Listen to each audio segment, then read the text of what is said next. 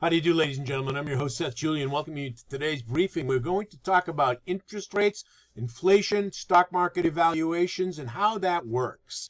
One thing we, two things we are fairly aware of, unless we're living under rocks, and I know none of you are, that prices are rising in the general economy. Price things are getting more expensive, and that is called inflation, price inflation. We also know, as of last night, again, were you not listening to any news media whatsoever, you wouldn't be unaware that the Federal Reserve, the central bank of the United States, raised its interest rate. And that's not the interest rate you and I pay, by the way. That's the interest rate banks pay for their cash. They loan it out at a higher rate. But they raised their interest rates again by three quarters of a point to three and a quarter percent. Now, what I've charted here in this chart, the blue line is the interest rate, U.S. interest rate. The red line U.S. inflation rate. Now, I want to point out, first of all, that in times past, I have to bring this down just a little bit. No, I'm sorry. Make them the same, make them both auto fit. In times past, uh, when the inflation rate got high, the interest rate had to pretty much come up there and meet it. Otherwise, um, it didn't really come down. Now, in this case, we're here up at about 8.5% for the inflation rate, more or less, depending on how it's judged, and we're only at 3 and a quarter. So there are those who say, myself included, that the interest rates are going to have to go higher to bring this down. Now, you'll notice a slight dip right there. I don't know if that means anything. Uh, most people say it doesn't mean much.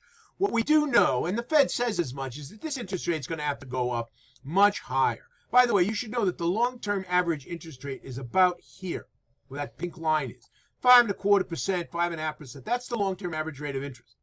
Now, that the interest, the relationship between raising the cost of money, also known as the interest rate, that's what the cost of money is, and inflation is fairly well known. If you want to stop the rise in prices, you make money more expensive. You take money out of the the economy, you make it more expensive to to buy or rent that money.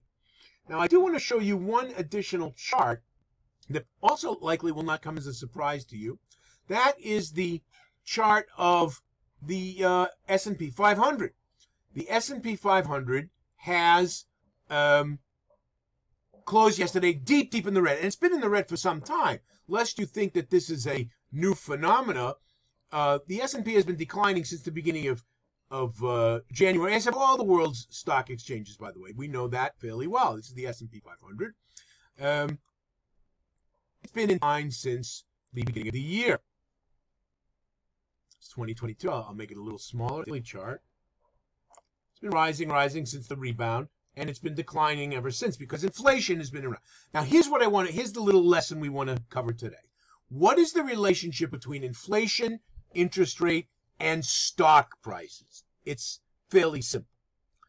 If your money is not worth very much today, you're willing to pay money for profits in the future, a return in the future. In other words, if I say to you today, would you rather have uh, a 10% return on your money in one year or a 15% return on your money in two years?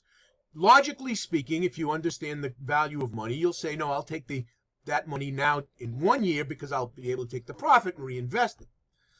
It's called the present value of money.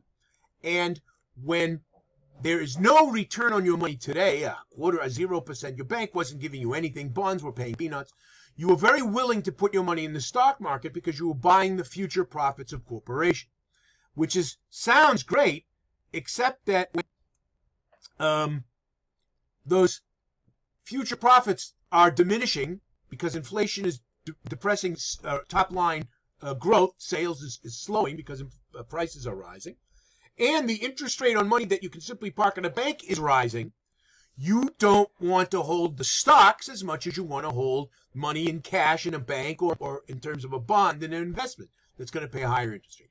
That, ladies and gentlemen, is the relationship between this blue line, this which represents the interest, this red line, which represents the inflation rate, and this sea of red, which represents the current closing of the S&P 500.